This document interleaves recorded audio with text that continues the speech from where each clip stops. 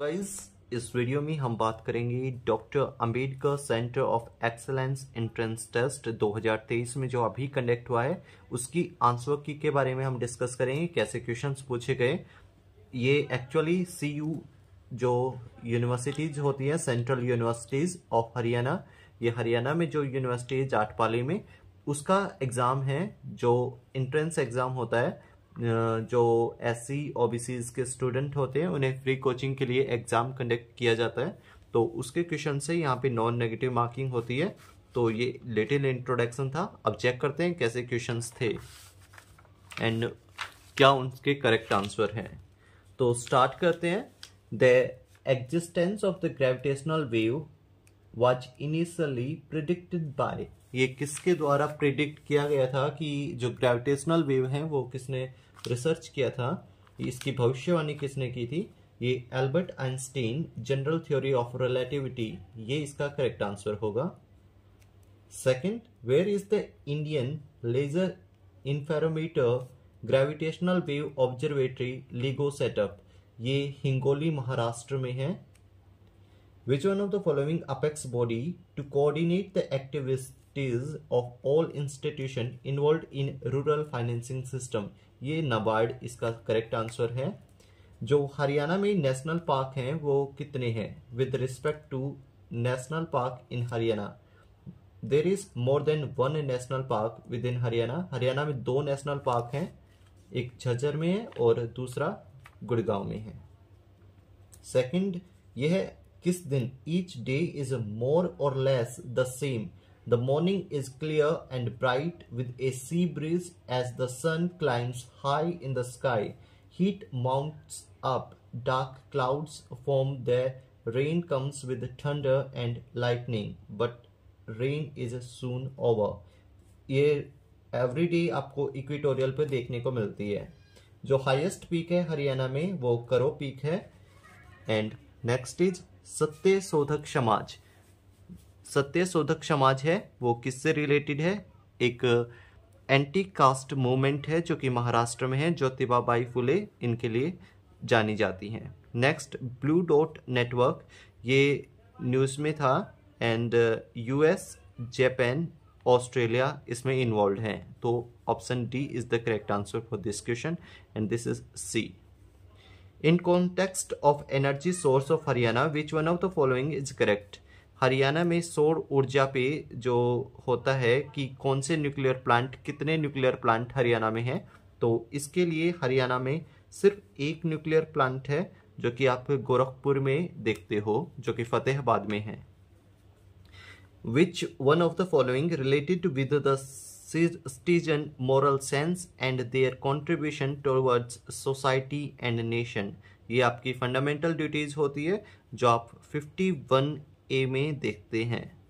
तो इसका correct answer है मौलिक कर्तव्य।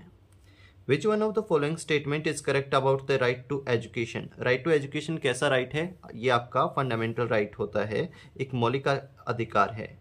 जो इंटरनल डिस्टरबेंस आपको मणिपुर में देखने को मिल रही है, वो किस किस के बीच में है? कुकी और मेती जो ट्राइब है, उनके बीच में आपको देखने को मिलती है। जीएसटी के जो काउंसिल होती है, उसके अध्यक्ष कौन होते हैं? चेयरपर्सन कौन होते हैं? ये आपके Nirmala Sitharaman means finance minister जो होते हैं यूनियन के, वही इसके चेयरपर्सन होते हैं। नेक्स्ट चालुक्य के टाइम पे चाइनीज़ ट्रेवलर कौन आए थे? इसका आंसर है बी इत्स्यांग इसका करेक्ट आंसर है। इसके बाद ग्रीन रेवोल्यूशन के फादर कौन थे? M S Swaminathan. एक्चुअली उनकी रिसेंट में डेथ हो गई है। तो उसके कॉन्टेक्स्ट में क्वेश्चन पूछा गया होगा M S Swaminathan terracing is method of soil conservation use to ये थोड़ा टिपिकल क्वेश्चन था, इसका आंसर है carry surface run off across land without, with, without causing erosion कटाव पैदा बिना किए सतही पर उप, अपवाह को के आर पार ले जाना। बूधन मूवमेंट किससे रिलेटेड है? विनोद भावे आचार्य विनोद भावे से।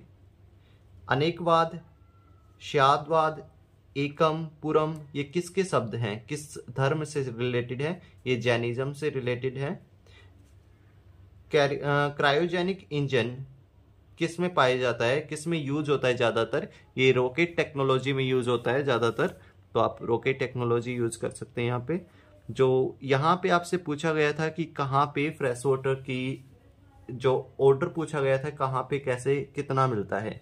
तो इसका करेक्ट आंसर होगा ऑप्शन ए जिसमें सबसे कम होता है आपको एटमॉस्फेयर में देखने को मिलता है। उसके बाद में स्ट्रीम्स एंड रिवर्स में दूसरे नंबर पे लेक्स है और आइस कैप्स एंड ग्लेशियर्स में सबसे ज़्यादा आपको देखने को मिलता है फ्रेश वाटर इसके बाद ये जो करेवा का जो कश्मीर हिमालय, ये ही एक सिंगल करेक्ट है तो इसका आंसर वन ओनली रहेगा।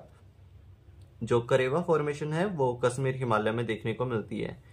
Which one of the following fuel causes minimum environmental pollution कौन से जो इन्वायरमेंटल को कम से कम पोल्यूट करता है, कौन सा ईंधन ऐसा है? इसका करेक्ट आंसर है हाइड्रोजन हाइड्रोजन इसका करेक्ट आंसर है। Which of the following main characteristics of haemophilia haemophilia का मेन कैरेक्टरिस्टिक क्या है? ये क्लॉट नहीं होने देता है आपको ब्लड को। अगर एक बार कट लग जाता है तो वो ब्लीडिंग रुकेगी नहीं। ये ऐसा है। Mitosis is the process by which जो माइटोसिस है, वो कौन सी प्रोसेस है? इसका करेक्ट आंसर सी ऑप्शन हो सकता है। The chromosome in the cell nuclei are attach to the spindle before moving to the anaphase poles Central Vista development redevelopment plan infrastructure investment project aims to ये किसके लिए दिया गया था? Actually बनाया तो उन्होंने पार्लियामेंट है। यहाँ पे इंडियन पार्लियामेंट भी लिखा हुआ है एंड सस्टेनेबल के बारे में बात की है। तो मे बी ये भी आंसर हो सकता है एंड ये भी आंसर हो सकता है। लिविंग रूट ब्रिज जो है, वो कहाँ स्थित है? ये आपका मेघालय में है। And name of the person is associated with Heraka movement Heraka movement से कौन जुड़े हुए हैं?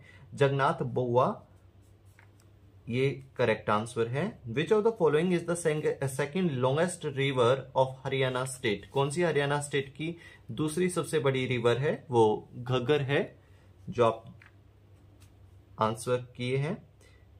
यहाँ पे पूछा गया 17 अक्टूबर 1940 को क्या हुआ था? यहाँ पे जो आपके विनोदा भावे हैं, वो फ़र्स्ट सत्याग्रह थे। उनको चुना गया था। तो ये करेक्ट आंसर है इसका। इसके बाद में इस क्वेश्चन का आंसर मेरे को अभी नहीं मिला है। मैं आपको इन द एंड या फिर आपको डिस्क्रिप्शन में इस क्वेश्चन का आंसर मैं आपसे शेयर कर दूँगा। आगे right to life with dignity ये आपका आर्टिकल 21 में देखने को मिलता है। सम्मान के साथ जीने का अधिकार।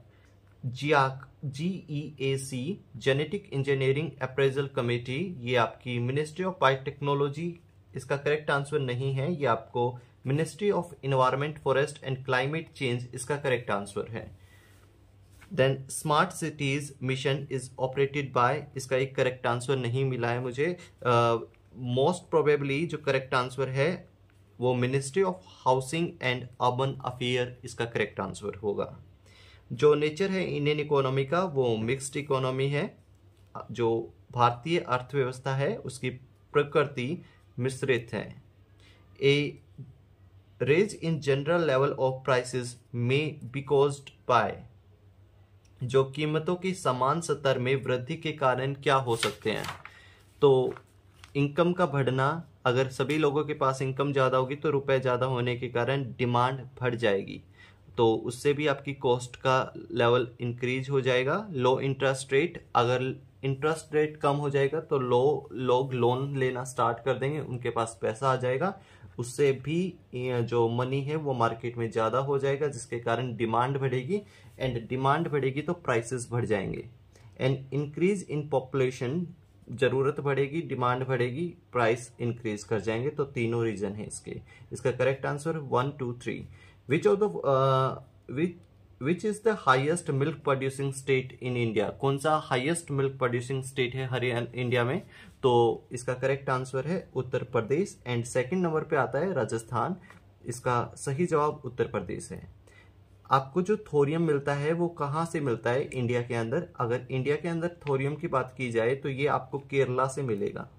केरल से थोरियम मिलता है। और अगर यूरेनियम पूछा जाए तो वो आपको आंध्र प्रदेश से मिलता है।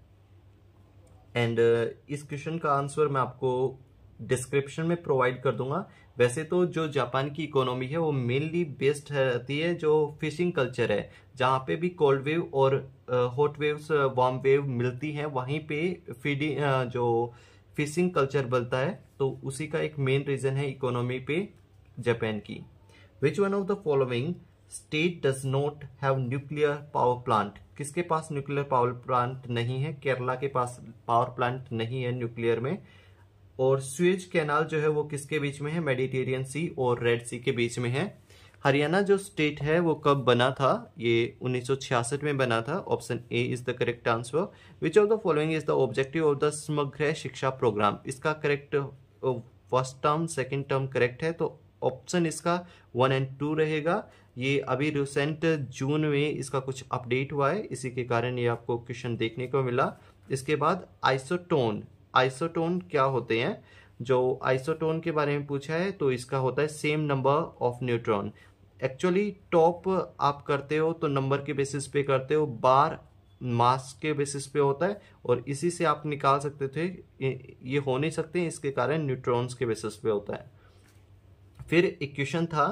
कि this effect is use in the military to detect enemy aircraft by astrophysicist to measure velocities of stars and by doctors to study heart beat and blood flow it is also use by the police to check over speeding of vehicles तो आपको ये Doppler effect से देखने को मिलता है। और ये वाला जो क्वेश्चन है, जो ये which among of the following mechanism explain the transfer of heat energy जो हीट एनर्जी का ट्रांसफ़र है अर्थ की सरफेस से, उस लोअर एटमॉस्फेयर में, इसका किसके कारण होता है? ये टेरेस्ट्रल रेडिएशन स्थलीय विकीकरण के कारण ये होता है। इसका करेक्ट आंसर है। जो चंडीगढ़ सिटी है, वो किसने बनाया है? किसने इसको प्लान किया है? वो ली कार्बिजर है। इसका करेक्ट आंसर ऑप्शन ए है।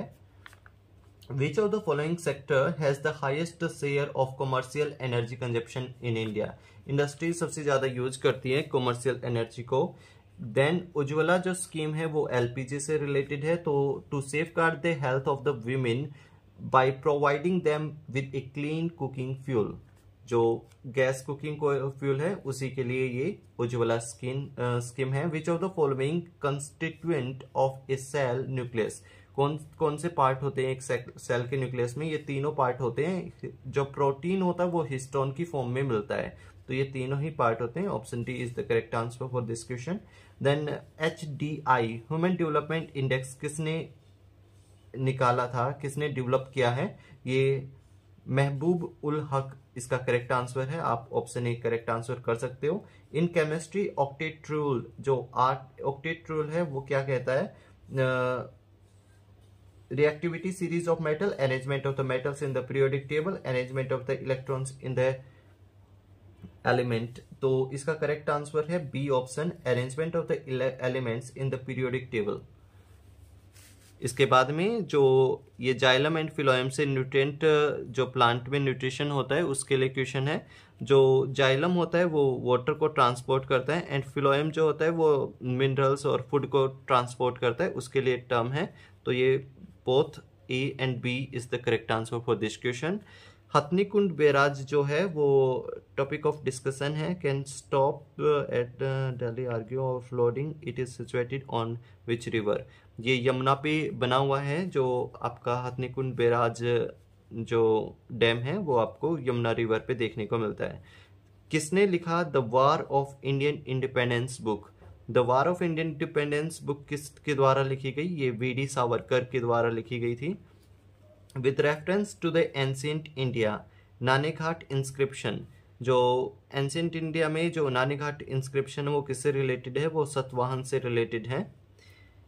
Which of the following state has been under the possible effect of the stubble burning pollution तो ये पंजाब, हरियाणा एंड वेस्टर्न पंजाब उत्तर प्रदेश, जो पश्चिमी उत्तर प्रदेश है, वो भी इसमें इन्वॉल्व है। ये इसका करेक्ट आंसर बी ऑप्शन रहेगा। देन मिस्टी जो है वो किसके लिए? वो मैनग्रोव फॉरेस्ट के लिए है। तो इसका आपको करेक्ट आंसर सी रहेगा। चेन्नई डेट्रॉइट डेट्रॉइट एक कंपनी है, डेट्रॉइट ऑफ़ इंडिया। तो वो किससे रिलेटेड है? वो ऑटोमोबाइल से रिलेटेड है, जो चेन्नई में है। रिसेंटली जो अगसतक कुद, ये जो वेदशाला है, ये कहाँ पे है? इसके बारे में क्वेश्चन पूछा गया। ये आंध्र प्रदेश में आपको देखने को मिलेगी। इसका करेक्ट आंसर आंध्र प्रदेश है। जो इस क्वेश्चन का आंसर भी मैं आपको डिस्क्रिप्शन में प्रोवाइड कर दूँगा। मोस्ट प्रोबेबली इसका आंसर डी रहने वाला है। जो सिल्ट पोल्यूशन है, वो इन सभी से चीज़ों को अफेक्ट करता है। इन सभी पे इम्पैक्ट देखने को मिलेगा। रेड द फॉलोइंग पैसेज ये पैसेज के बेसिस पे इसका बी आंसर है। बट अभी के लिए बी है। कहा कुछ नहीं जा सकता। है इस, जो 62 क्वेश्चन है, उसका डी करेक्ट आंसर हो सकता है। एंड 63 में जो वेन डायग्राम का क्वेश्चन है, इसका करेक्ट आंसर आपको सेकंड मिलेगा। Which part of the constitution of India declare the idea of welfare state welfare state जो होता है, वो आपको डीपीएसपी में देखने को मिलता है करेक्ट ए ऑप्शन रहेगा। राज्य के नीति निर्देशक सिद्धांत में आपको देखने को मिलता है। देन कुछ आपको रीजनिंग के क्वेश्चन देखने को मिलते हैं। फिर आपसे separation of judiciary from the executive executive से जुडिशरी को अलग करते हैं आर्टिकल 50 में। तो ये आपको देखने को मिलता है डीपीएसपी में। डीपीएसपी जो कि आपका आर्टिकल 50 है। इसके बाद आप देख सकते हैं, यहाँ पे इस, इसका करेक्ट आंसर ये रहेगा। A B and C are brothers actually C जो होती है इसमें डॉटर होता है. दैट्स वाई इसका आंसर ये नहीं हो सकता. और इसका आंसर सी रहेगा सेवेंटी टू का. एंड uh, जो 73 है ये पैसेज के बेसिस पे इसका करेक्ट आंसर हो सकता है. होलिस्टिक स्पोर्ट सिस्टम को प्रोवाइड करना. बुज़ुर्गों की देखभाल के लिए समग्र साहित्य प्रणाली की आवश्यकता है। ये इसका करेक्ट आंसर हो सकता है। अटल इनोवेशन मिशन इसका करेक्ट आंसर है। नीति आयोग से ये चलती है। किसके अधीन है? अटल नव प्रवर्तन मिशन ये नीति आयोग नीति आयोग के द्वारा है। और 21 जून को सूर्य कहाँ होता है? इसके बारे में एक क्वेश्चन है। तो इसका जो करेक्ट आंसर रहेगा वो ऑप्शन ए रहेगा। ये यूपीएससी 2019 का क्वेश्चन है। ज्योग्राफी में does not set below the origin at the arctic circle ये आर्कटिक सर्कल के ब्लो होता है। ब्लो नहीं रहता है तो ये सन इस टाइम पे जून ट्वेंटी फ़र्स्ट को नहीं रहता है। आगे आप देखना, ये सेवेंटी एट का बी ऑप्शन है। And seventy nine G twenty की थीम क्या थी? One earth one family one future इसका करेक्ट आंसर है। कॉन्स्टिट्यूशन ऑफ़ इंडिया में सेफ़ guard one's right to marry the person of one's choice ये किसके अंदर है? ये आर्टिकल 21 के अंदर है और इंटरनेट जो राइट टू इंटरनेट है, वो भी आर्टिकल 21 में है। इसके बाद द ग्लोबल कॉम्पिटिटिवनेस रिपोर्ट ये कब, किसके द्वारा पब्लिश की जाती है? ये वर्ल्ड इकोनॉमिक फोरम विश्व आर्थिक मंच के द्वारा पब्लिश की जाती है ये रिपोर्ट। इसके बाद में कुछ रीजनिंग क्वेश्चन हैं और इसके बाद में भी ये भी एक यूपीएससी का क्वेश्चन रहा है। ईयर मुझे याद नहीं है, ये चार्टर एक्ट पे 1813 के ऊपर क्वेश्चन है। जो चार्टर एक्ट होता है, उसमें चाय की जो मोनोपोली है, वो दे दी जाती है और अदर जो मोनोपोली थी, उसे रोक दिया जाता है और ये क्राउन के अंडर चला जाता है। लेकिन रेवेन्यू सिस्टम वो ब्रिटिश पार्लियामेंट के अधीन नहीं रहता है। तो ये स्टेटमेंट इनकरेक्ट है, बाकी दोनों स्टेटमेंट करेक्ट है both A and B means एक करेक्ट ऑप्शन रहेगा ए इसमें आप थोड़ा सा ये एटी सेवंथ में जो बैक साइड का उसका फ्रंट बताया गया है बैक फेसिंग तो इसे आप करेक्ट तरीके से पढ़ेंगे तो आपको यहाँ पे साउथ इसका करेक्ट आंसर मिलेगा. देन 88 का ऑप्शन डी इसके बाद में 89 का क्लाउडी नाइट वाले दिन ये यूपीएससी का ही जो प्रीवियस ईयर क्वेश्चन है, उसी से ही है ये क्वेश्चन इसका करेक्ट आंसर रहेगा clouds reflect back earth radiation बादल पृथ्वी के विकीकरण को वापस प्रावर्त करते हैं, ये इसका करेक्ट आंसर रहेगा. देन जो 91 क्वेश्चन है, उसका सी और डी में कोई भी हो सकता है, दोनों की एक ही वैल्यू है तो इसमें कोई भी वैल्यू हो सकता है.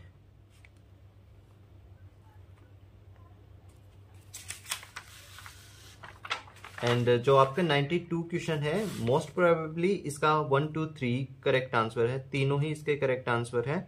But I will check it again मैं आपको डिस्क्रिप्शन में ये इंफॉर्मेशन दे दूँगा।